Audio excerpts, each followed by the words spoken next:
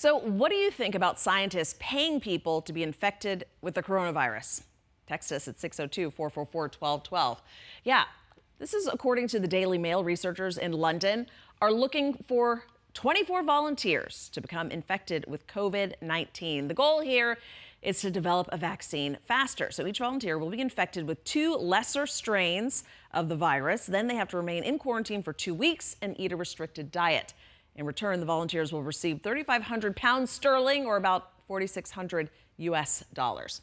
So there's another clinical trial that's happening in Seattle, and that could begin next month. In this case, volunteers wouldn't have to be quarantined, and they're going to receive $1,100. But here's the thing the trial takes 14 months.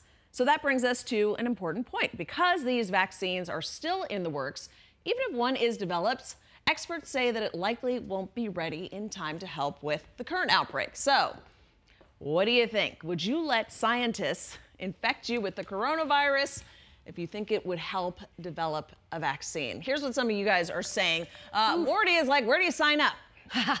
totally in. Donna says, why not just get the people who already have it? Oh, that kind of makes already sense. in it. Uh, Steve says, of course not. Funeral arrangements are at least 10 grand. Mm-hmm. So I'm getting gypped right from the top. There are another 7K. We can talk. Wow, Steve's negotiating uh, his infection. You might as well. They need you. They clearly do. I don't know. Uh, it's a brave thing to do, I guess, uh, for many people who are willing to do it. But let us know what you think. 602 444 1212. I'm out. There's a meme going around right now that says women between the age of 30 and 45, Yeah. typically mothers, are most susceptible to the coronavirus. You should drop them off at the nearest spa for quarantine. Yes, I would 14-day love quarantine. to be Have you guys seen that? at the Phoenician.